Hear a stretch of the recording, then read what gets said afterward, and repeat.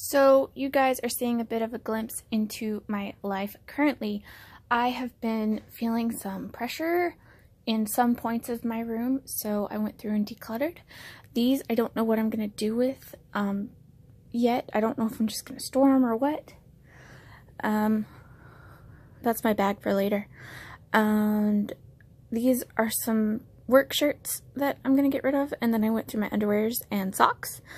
Um, so that I don't know what to do with yet either.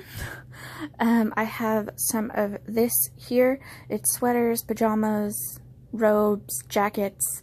Um, my two scarves that were left, I'm going to see if my friend Laurel wants these. I know she gave me this one, and I know she's been wanting this one because every time I tell her I'm going through my, my scarves, she's like, if you get rid of that one, you know I'll take it from you. So I'm going to try to see if she wants those.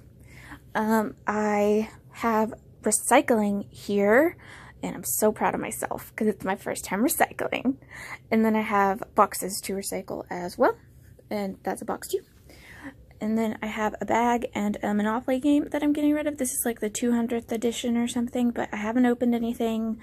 And I'm not going to play it if it's open, so I might as well see if I can sell it. There's Precious. I'm not getting rid of her. She stays. I have some CDs that I'm getting rid of. And then I have this big pile here that I'm getting rid of. And that's that. And I feel a lot better because I went through my dresser and cleared it out and got everything organized.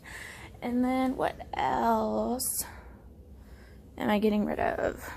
I have some paperwork that I need to shred, put my backpack here. I now have my pants hanging up here, even though I have like three pairs. And then I moved my jackets up here, and I went through my shirts. I got rid of some of my short sleeve shirts because I just don't wear them because I'm self-conscious and I don't like my arms. And then I have my sweaters and other work shirts here. So I went through those a little bit as well. I didn't get rid of much.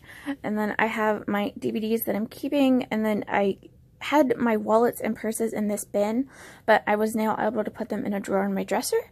So this is going to be my empties basket for the year. And there Precious goes again. So I will see you guys in the next video.